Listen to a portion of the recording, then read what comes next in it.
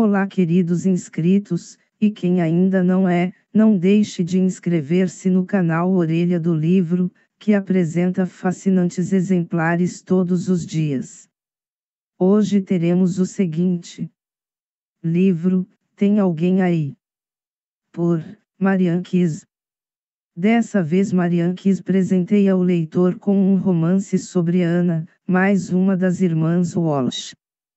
Uma série de desencontros, uma revelação estarrecedora, dois recém-nascidos e um casamento muito esquisito talvez ajudem Ana a encontrar algumas respostas. Ela passa os dias deitada no sofá com ideia fixa, voltar para Nova York.